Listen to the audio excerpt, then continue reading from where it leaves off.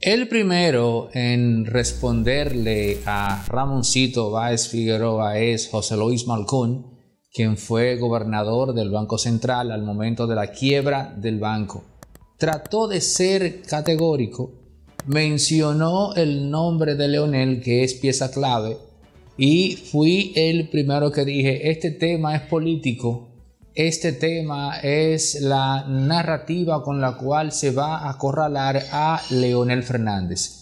Pero en esta ocasión lo que tenemos que revelar es el porqué de la quiebra de Van Inter. Porque la historia extraoficial que pasó y fue así, reza que se dio una discusión entre Ramoncito Báez e Hipólito Mejía cuando el dueño de Baninter se enteró de que se iba a nombrar a una persona clave del Banco Popular en la Junta Monetaria. De inmediato, el hombre fue, habló con Hipólito, no llegaron a un acuerdo y se dijeron las fatídicas palabras aquellas, yo te tumbo el gobierno, yo te quiero el banco. Ambos cumplieron con su promesa. Y eso pasó, es verdad que eso ocurrió.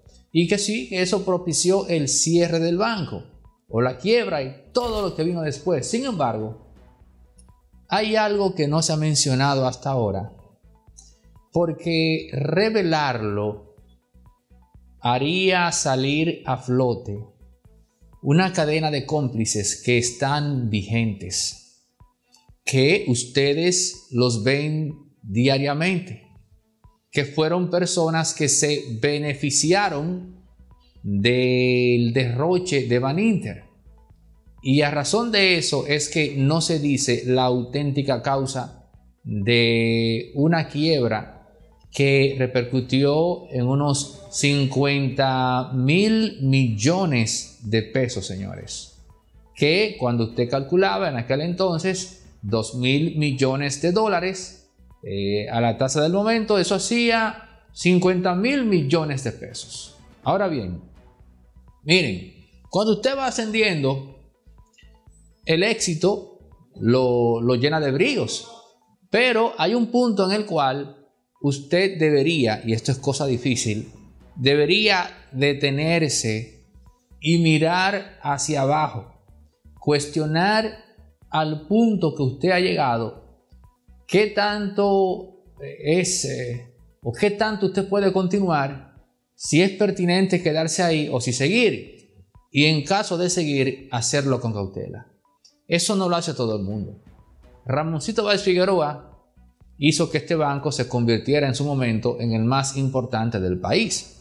Esto, de una u otra forma, revela que algún dote gerencial o talento él tiene que tener. Eso es incuestionable. Y no digo esto para uparlo, sino para explicar el fenómeno. Ahora, sin lugar a dudas, que a Ramoncito un éxito continuo tras otro lo fue embriagando de poder. Hasta un punto en el que él mismo llegó a pregonar que podía ser presidente de República Dominicana. Y lo hizo en una fiesta en donde reunió a los más importantes elementos de la plutocracia de República Dominicana que no vieron eso con buenos ojos.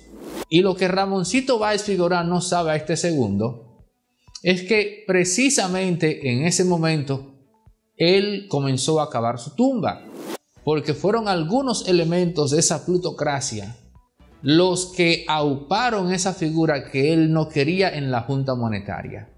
Pero esa figura en la Junta Monetaria lo que iba a hacer era precisamente lo que terminó haciendo Hipólito investigando el banco. Y esa era la razón por la cual él no quería a esa persona. Pero lo que él no sabía es que ese comentario de que él iba por la presidencia de República Dominicana fue lo que puso en marcha ese plan. Y esa es la fase 1. Lo otro tiene que ver ya directamente con él. Si Ramoncito Báez Figueroa hubiese sido una persona estrictamente bajo perfil, si Ramoncito Báez Figueroa se hubiese manejado como lo hace hoy día Manuel Estrella, que tiende, a, amén de lo poderoso que sea, tiende a no aplastar, tiende a no ser avasallante, tiende a ser de trato horizontal, afable. Pero Ramoncito, y no es que sea mal lo otro, porque total, lo que en buen dominicano lo echó a perder fue que cada éxito, cada compra que él hacía, lo insuflaba de brillos, más brillos y brillos, y eso le hizo perder el tino, eso le hizo perder el tacto. Usted no tenía, por ejemplo, que darle, para que ustedes me entiendan, una tarjeta libre, totalmente libre a Pepe Boico. Porque era evidente que si había una persona que no era psicológicamente indicada para tener una tarjeta libre, la famosa Pepe Card, esa persona era Pepe Boico. Ah, pero Ramoncito, eh, y disculpen la expresión, privando en bacano, le dio la tarjeta. Y eso le creó un problema también a él y al país. Aunque Pepe Goy con su defensa dice que eso ha sido exagerado. Puede ser posible, no sé, pero él que asuma su defensa. Entonces, Ramoncito Valls Figueroa echó a perder ese proyecto, ese banco, porque llegó un punto en el cual estaba modo Heliogábalo nivel Dios. ¿Usted me está oyendo? Modo Heliogábalo nivel Dios. O sea, Perdió totalmente el filtro, señores. Perdió ese sentido de detente. Párate aquí, párate aquí, vamos a disfrutar esto. Eh, yo vuelvo ahorita, vamos a disfrutar este éxito. No, siguió, siguió, siguió, siguió y siguió como Ícaro, que voló tan cerca del sol que el calor del mismo derritió sus alas y ya usted sabe cuál fue la consecuencia de eso. No fue exactamente el tema de ese nombramiento en la Junta Monetaria. Fue todo lo que vino antes de eso. ¿Y qué fue todo lo que vino antes que eso? Bueno, el comportamiento sin freno de Ramoncito Báez Figueroa. La soberbia. El hombre que no supo contenerse eso fue lo que propició la desgracia de Van Inter. Y nadie le ha dicho eso a él. Hermano mío, usted se corrió. Hermano mío, a usted se le fueron los frenos. Ah, pero ¿por qué no aparece un comunicador que le diga eso? Óyeme, pero tú, viejo, pero tú chocaste porque tú, tú, tú, tú le buscaste eso. ¿Por qué no aparece un comunicador? Bueno, pues porque Raboncito compró literalmente a toda la clase mediática de República Dominicana salvo quienes en su momento dirigían el gobierno de la mañana.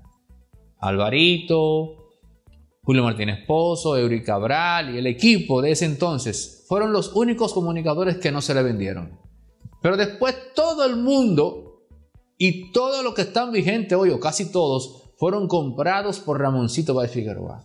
Por eso no aparece nadie a este segundo que diga, no, pero es que lo de Ramoncito fue un asunto de apague y vámonos.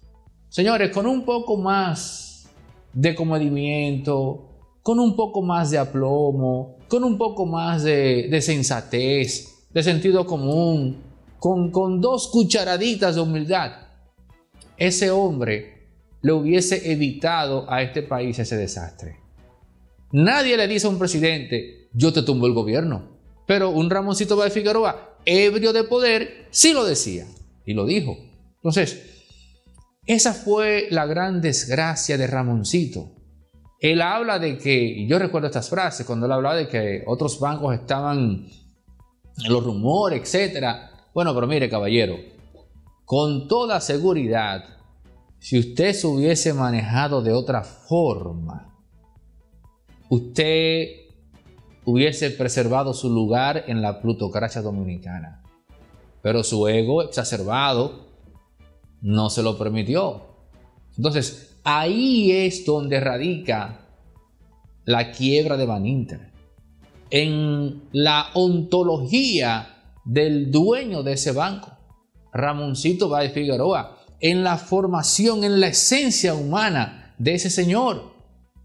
O sea, en ¿qué, era lo que, o sea, era lo que, que él pretendía? Sentirse el pantocrator de RD esa fue la desgracia de Van Inter. Si quitamos eso de la ecuación, no se crean las versiones que dieron al traste con esa tragedia. Así de simple. Y reitero, nadie sale a decir eso. ¿Por qué? Porque todavía a este segundo hay gente que recuerda que Ramoncito Valls Figueroa todos los años le cambiaba su closet. Y qué bueno, es gente agradecida. Son amigos que no tienen las gónadas para decirle la verdad en su cara a este señor. Es para mí hasta irónico y gracioso que más de 20 años después se tenga que volver a hablar de Van Inter en República Dominicana.